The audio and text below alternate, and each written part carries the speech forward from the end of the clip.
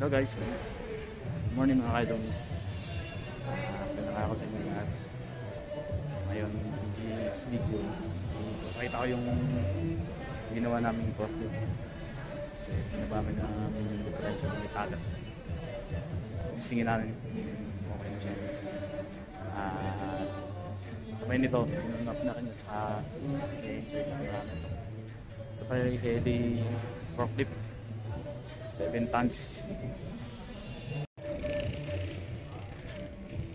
Bali ito po yung ano 7 tons na forklift heavy. Kaya ito yung differential na binaba namin. Pakasikip. Pero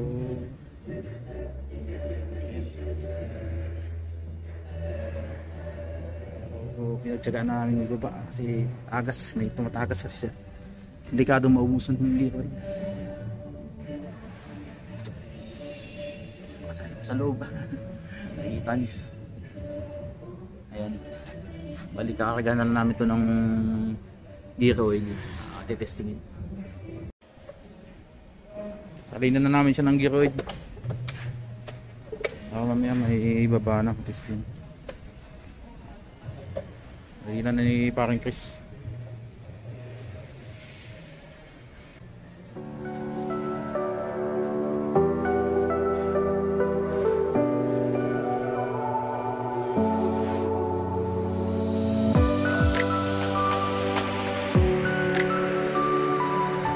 Ang mga 12 liters ng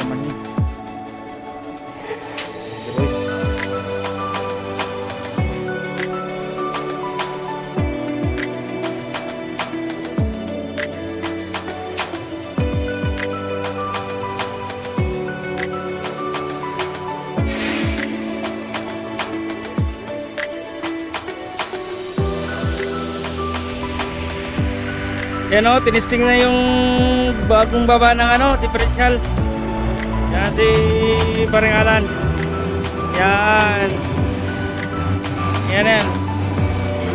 Akit pa ba yung ano niya? Yung beam niya.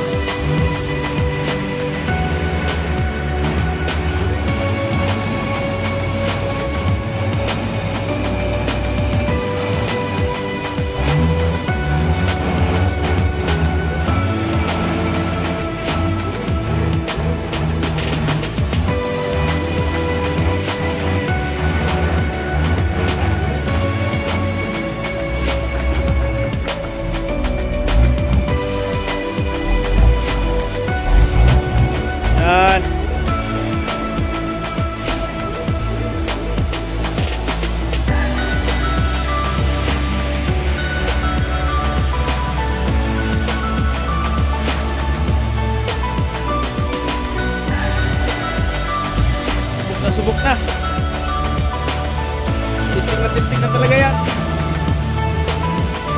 Yan.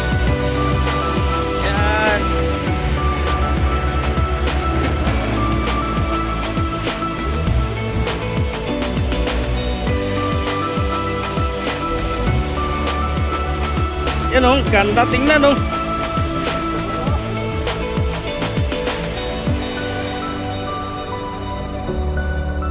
Dali mo na doon kaya. Dali mo na doon pag ano.